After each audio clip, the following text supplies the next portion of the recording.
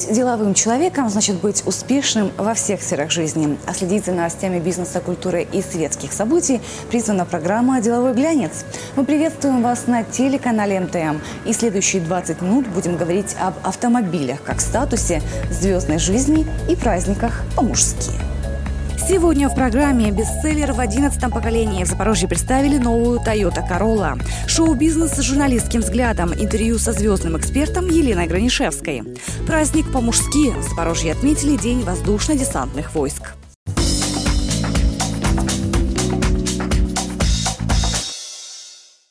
Что определяет статус человека? Образование, воспитание, образ жизни и автомобиль, не будем скрывать. Точнее, его качество, комфортность и современность. Компания Toyota хорошо об этом знает, поэтому системно повышает уровень выпускаемых авто. Премьера этого сезона – новая Toyota Corolla, бестселлер в 11 поколении. Мы были на презентации.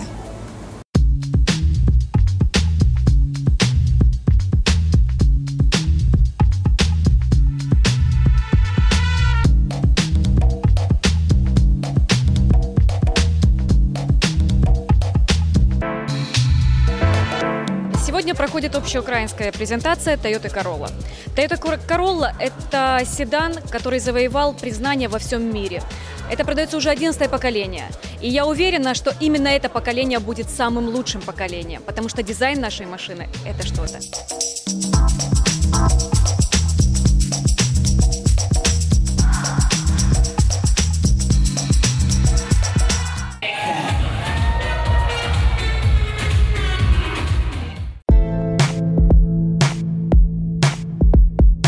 Toyota Corolla 2013 года полностью выдержала философию своих предшественниц, совершив при этом качественный прорыв как в дизайнерском, так и в техническом плане. Глазам запорожских покупателей предстал модерновый седан с явной претензией на лидерство в своей нише.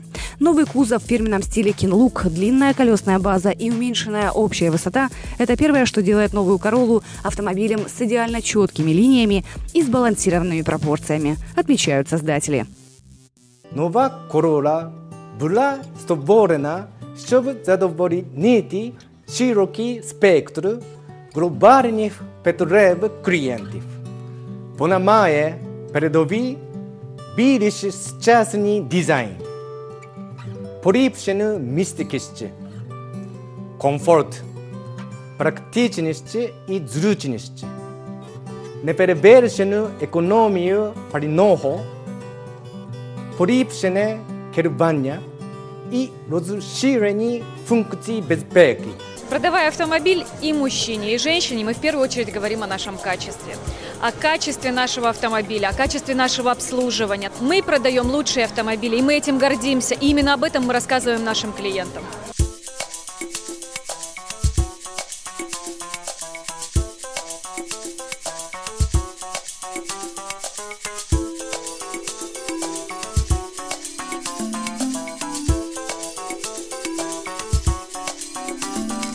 Очень хорошая машина, нравится. Дизайн агрессивный, спортивный. В принципе, внутри отделочка замечательная, считаю. Безусловно, новая Corolla мне очень понравилась. И э, я не просто здесь нахожусь. В моих планах э, действительно приобретение этой Corolla. А что принципиально важно в автомобиле для современной деловой девушки?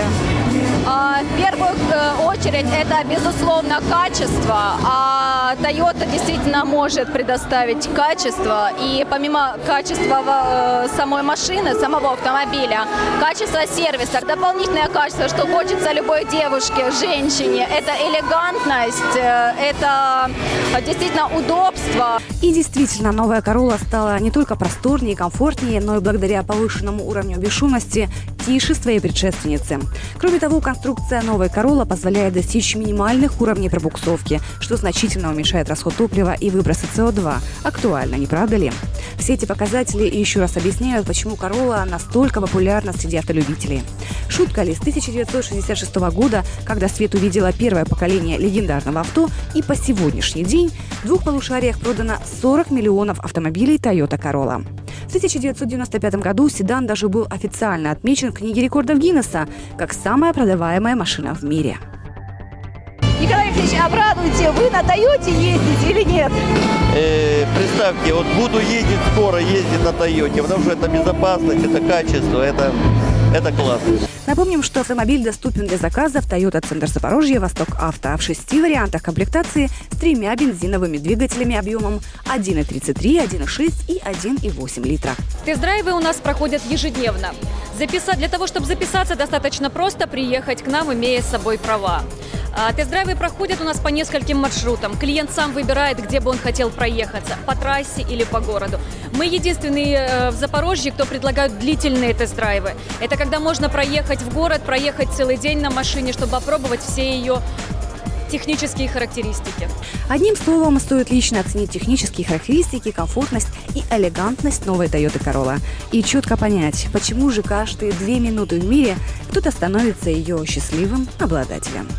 Ваш новый статус з новою Corolla.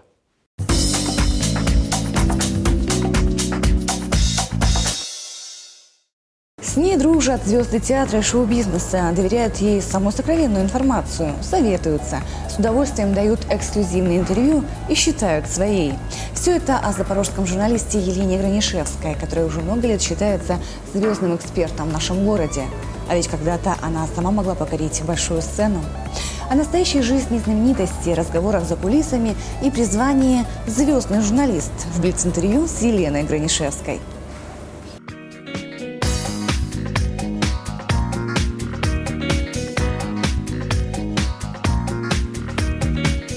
27 лет журналистики, из которых большую часть дала общению со звездами. Елена Гранишевская. Именно она первой запишет интервью с известным исполнителем, актером или режиссером, посетившим Запорожье. Именно ей дадут эксклюзив, пригласят в гримерную, напишут дружеские комментарии в социальных сетях. Потому что знают много лет и доверяют профессиональному подходу звездного журналиста. Когда я работала еще в индустриальном Запорожье, у нас была тогда комсомольская организация, и мне, значит, вменили почетную обязанность, когда приезжали к нам с гастролями, это были конец 80-х, э, всякие рок-исполнители и так далее, значит, я должна была находить, где се- поселились эти звезды, ехать туда к ним, прям тогда не было никаких директоров там и так далее. Вот, я ехала в гостиницу, э, стучалась в номер, говорила «Здравствуйте, я представитель комсомольской организации средств массовой информации Запорожья». Я говорила, вот у нас есть такая комсомольская гостиная, она находилась в Доме печати на пятом этаже. Мы вас приглашаем, туда придут наши ведущие журналисты, они вам зададут вопросы, а потом каждый будет, значит, писать интервью. Вот я так приглашала Владимира Кузьмина, который только-только туда появился, Игоря Николаева, а, Леонтьева. А вот с теленеделя уже началась такая активная э, жизнь э, журналистская, связанная со звездами. Почему такую почетную миссию предоставили именно тебе? Тебя бросили под танки, и артистов приглашают в том числе. Ведь не просто так. Наверное же до этого а, было понимание, что именно этот человек интересуется искусством, или театром, или шоу-бизнесом. То есть подготовлена ведь какая-то почва, наверное, к этому была. Я вообще сама пою с детства. То есть я все школьные годы провела в ансамбле песни и танца «Чайка» городского дворца пионеров. Э, У нас был известнейший вообще в Союзе коллектив. Мы, допустим, пели на одной сцене тогда с Иосифом, с Иосифом Кобзоном, с, со Львом Лещенко, с Юрием Богатиковым. Вот я в этой среде творческой э, с детства вращалась. Мне там не стоит труда большого расположить к себе там любую звезду. любое общение, любое интервью с ней – это не просто сухое изложение фактов. а интервью превращается в какую-то искренность, откровение, и ты забываешь даже порой, что даешь интервью. Это, наверное, великий дар, вот умение общаться с людьми, умение расположить к себе людей. Ну и, наверное, это говорит о том, что у человека есть талант. У тебя большой круг общения и с известными людьми, с артистами. У тебя много друзей на том же Фейсбуке известных, да? Но какой процент из них, если так можно сказать, все-таки действительно являются близкими людьми, вот откровенно? Ну, смотри, э, Сергей Рогожин, бывший солист группы «Форум», нынче известнейший, ну и он вообще очень давно известен. Мы с ним, По его комментариям на Фейсбуке я поняла, что это ближайший друг. Мы с ним с детства э, дружим. Мы с ним вместе пели в ансамбле песни и танца «Чайка». Он был у нас солистом. Это э, Дмитрий Золотухин, Петр Первый нашего э, кино советского. То есть это те люди, допустим, и у Мити Золотухина я была в Москве в гостях, и мы с ним настолько, ну, мы можем обсуждать любые темы, там, что касается личной жизни, что касается, там, я не знаю, там, событий в жизни, ну, то есть, ну, с Андреем Данилко я очень давно тоже дружу, потому что, понимаешь, еще в чем тут такой, может быть, э, ну, фишка. Когда многие начинали свою карьеру на сцене, это я вот еще беру, ну, допустим, тот же Андрей Данилко, тот же, та же Тая, да, я как раз начинала в журналистике заниматься. И у вас совпало, да. восход. Да, да, да.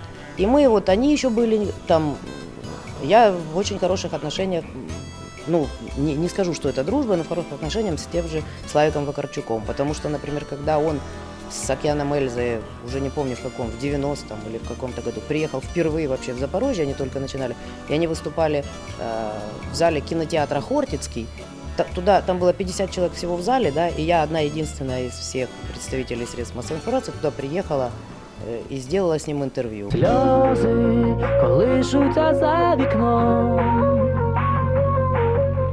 сосни навколо моя стіна, сльози лякають своїм теплом, сосни на на на на а с нашими, там, Сумская, например? Ну, Сумская Оля, мы вообще с ней учились в одной школе, только она училась меня на два года младше. Да, недавно мне рассказали мои, я ей рассказала, мои, э, ну, друзья, что, говорит, у них ребенок учится в первой школе, и, и они мне говорят, Лена, ты знаешь, там есть доска какая-то там почета, я не заходила. На ней, значит, висят фотографии. Ими гордится наша школа. Оля Сумская, Людмила Супрун и я. я... Три фотографии? Ну, вроде бы как, я не видела, да. Я Оле позвонила, я говорю, Олькин, представляешь, мы с тобой висим вместе. Вот, ну хотя и, и, и Люду знаю. То есть с Олей мы, конечно, очень э, э, долго не виделись там после школы, но когда вот опять начались там, я там в Киеве, да, она сюда приезжала, мы общаемся, мы перезваниваемся. Это недоступно для общения. Конечно, да, конечно. Есть же стереотип, шаблон какой-то. Вот я скажу тебе, вот, тоже ну, многие спрашивают, чем талантливее и э, крепче, так бы говорить, артист любой, тем он доступнее и демократичнее. С такими друзьями, приятелями, знакомыми в Москве, в Киеве, в шоу-бизнесе российском, украинском. Вот ты меня спрашивала, что я здесь делаю, что ты здесь делаешь до сих пор? Ну, нет, смотри, у меня были предложения именно как журналисту уехать работать в Москве. Это были тоже начало 90-х, да, нет, вру, не 90-х, двух, конец 90-х, начало 2000-х. А, меня пригласили к себе работать э, российская комсомольская правда. Я туда поехала, и тут вдруг мне звонит, э, была такая газета «Жизнь», я не знаю, сейчас ее нет, желтая, желтее не придумаешь. Да, это был где-то 99-2000 год. На тот момент, ну вот для сравнения, да, здесь я зарабатывала, ну пусть это будет там, ну 500 долларов, да, возьмем. Мне он там предложил 4000 долларов в месяц, плюс оплата жилья, которое я сниму, вот, ну и как бы офис, если компьютеры, у нас тогда такого не было. Ну, в общем, я вечером пришла домой и позвонила своим друзьям, тоже, кстати, вот артист, ну, как артист, Лариса Рубальская, известная композитор. Дмитрий Харатьян, мы с ним тогда очень да, тесно так общались, было хорошее. Станислав Говорухин, а, Аркадий Инин, все они мне сказали, если ты туда пойдешь работать, забудь наши телефоны. И я на следующий день отказалась, потому что, ну, как бы, может, это глупые какие-то принципы, да, может быть, это я не знаю, но я не для того зарабатывала авторитет в этом ну, журналистском бизнесе, для того, чтобы потом взять и вот так вот растерять это все. Ради чего? Если вернуться к сцене, вот ты пела, да, ты знаешь многих артистов, вот ты никогда не жалела, что не пошла по этой дороге, театральной или эстрадной? Ведь ты тоже могла сейчас быть артистом. Ты знаешь, ну, я же собиралась поступать в Гнесинку после школы, но меня не отпустили родители. Потому что ну, сказали, Москва? Нет, что, нет, нет. Я знаю, что ты на зло куда-то поступала, да, в итоге? Торговый, да, тех, да, у меня есть красный диплом торговый, это, про, про, как это называется, промышленные товары. Просто, наверное, наверное, если бы тогда, в те, в те годы, я бы куда-то бы таки поехала там в Москву, куда-то, наверное, бы что-то бы получилось, потому что Тогда не нужны были такие деньги, тогда ты мог брать талантом, да. Но когда я уже связала жизнь с журналистикой, это, слава богу, уже 27 лет. Вот. Э, то есть я пою, когда я хочу. Там я могу, у меня масса друзей-музыкантов. Я могу там попеть в караоке, я могу попеть в компании. Там где-нибудь, если мы где-нибудь в ресторане, где есть живые музыканты, это обязательно, потому что все знают, вот, что как бы что я пою. Может быть, еще это помогает, знаешь, ну, находить общий язык. То есть мне есть с ними о чем поговорить, и есть как бы показать, что я не просто какая-то пустышка, которая начиталась в интернете о них и задаю тупо им вопросы какие-то, а что я понимаю, чем они занимаются, что они делают, и могу даже где-то, может быть, как-то это оценить. Я в шутку всегда при встрече называю ее Уитни Хьюстон. Ну вот что-то мне напоминает в ее взгляде, выражение лица, может быть этот блеск глаз, улыбка. Очень очаровательный, обаятельный человек талантливый человек, он талантлив во всем. Пусть не до конца, не абсолютно, но он талантлив во всем. И, конечно, э, человек может и писать стихи, и петь, и выступать, и, артист, и быть артистом. Но все-таки ему нужно где-то определиться, чтобы все-таки стать в самом главном каком-то деле настоящим профессионалом. И поэтому я думаю, то, что она пишет, это ее именно ее дело. И ее будущая карьера еще, конечно, мне кажется, даже еще впереди ее карьера. Но то, что она может петь, то, что она общается, это ей, ну, как, как можно сказать, это ее та же грань, которая сверкает по определенном каком-то свете, при определенном каком-то ракурсе, эта грань начинает сверкать. Я уверен, что мы еще много граней еще найдем у Елены Гранишевской. Она не в шоу-бизнесе, но рядом с ним. Сегодня Елена Гранишевская профессионально занимается организацией музыкальных и кинофестивалей, проводит звездные пресс-конференции и следит за продвижением запорожских талантов. И, как и 20 лет назад, неизменно дает эксклюзивное интервью в каждый номер родного издания. Привычно для себя открывая правду, которую не доверят никому другому. А это, пожалуй, дороже капризной эстрадной карьеры.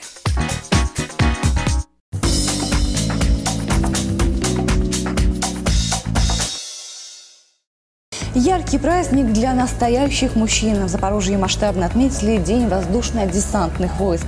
Далее Олег Газманов и Николай Расторгуев с лучшими песнями, подарки и почести, а также крепкие парни в тельняшках и синих беретах.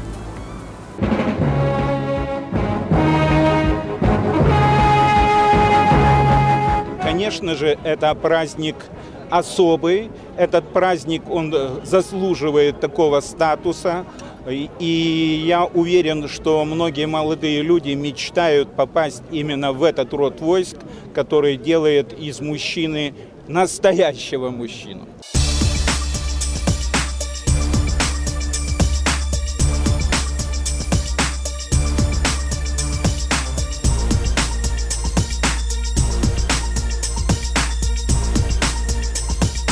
Крылатая пехота, голубые береты, элита армии. 2 августа десантники Украины, России и Беларуси отметили свой мужской, сильный и яркий праздник. Прошлого года решением президента Виктора Януковича он стал для нашей страны национальным. Запорожье в этом вопросе на передовой. Именно в нашем городе День ВДВ традиционно отмечают с размахом. Я ждал как второй день рождения, як второй день рождения. То есть день рождения не так ждал, как праздник ждал. Ни один праздник, э, да, военный праздник не, не празднуется так, как празднуется День ВДВ. Хоть это в Украине, в России, в Беларуси, неважно где, он празднуется масштабно везде. Это праздник мужества, славы, это та самая элита, что ни на есть э, гордость. У меня муж э, бывший ВДВшник, поэтому я сегодня так одета, его поддерживаю. История воздушно-десантных войск берет свое начало 2 августа 1930 года. Тогда на учениях военно-воздушных сил Московского военного округа под Воронежем было десантировано на парашютах подразделение десантников в составе 12 человек. Этот эксперимент позволил военным теоретикам увидеть все преимущества парашютно-десантных частей. Уже к лету 1941 года закончилось укомплектование личным составом пяти советских воздушно-десантных корпусов, и десантники смело вышли на передовую Великой Отечественной войны. Высокая боевая выучка, отличная физическая подготовка, отвага и преданность родине – это все о десантниках. Есть в этих голубых беретах что-то романтичное. То, что не может изменить ни время, ни обстоятельства. Ну, как говорил Маргелов, тот, кто не покидал борт самолета с большой высоты, Я ощущал упругого порыва воздуха, свиста ветра в ушах, тот никогда не поймет, будем говорить, этого праздника и чести десанта. Э, Встречаешь ребят, поздравляешь э, всех, кто носят тельняшки, они как э, одно единое братство такое, неважно хто де служив і в які года. Тяжко служилося, як всім нормальним хлопцям, які служили в армії. Краща підготовка е, військова і так далі, однозначно. Для нас, артиллеристов, связистов, была большая честь бок о бок в Афганистане сражаться с десантниками, потому что мы были уверены, что они не подведут. Не поймет, за что сержант бойца терзает. А кто служит только год, тот молодых терзать желает. На площади перед каскадом «Радуга» около 30 тысяч человек. На сцене они самые мужественные и неповторимые Юрий Шкитун, Олег Газманов, Николай Расторгуев и другие любимые десантниками артисты. Давай сожги,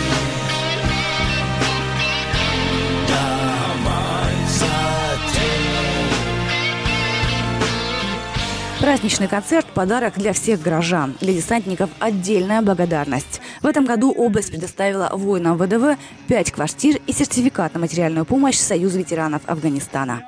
У нас с вами будет много работы, у нас с вами будет много побед, и у нас с вами будут праздники, потому что Запорожье звучит гордо. Слава нашим десантникам! Остается только пожелать украинским десантникам мирного неба над головой. Ведь никогда небесная синева и шум ветра в ушах не будут романтичными под свист пуль и разрывающий грохот взрывов. Пусть синие береты останутся символом отваги и национальной гордости, но никак не боли и потерь. С праздником! Лишь недавно учились вы в классе десятом И часы проверяли по школьным звонкам А теперь привыкайте, ребята, к десантным Продуваемым всеми ветрами войскам А теперь привыкайте, ребята, к десантным, а теперь привыкайте, ребята, к десантным, продуваемым всеми ветрами войскам.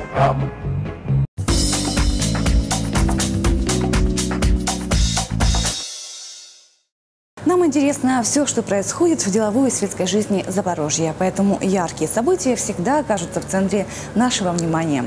Смотрите нас на телеканале МТМ и оставайтесь в курсе неповторимой жизни нашего города вместе с программой «Деловой глянец». С вами была Ольга Коваль.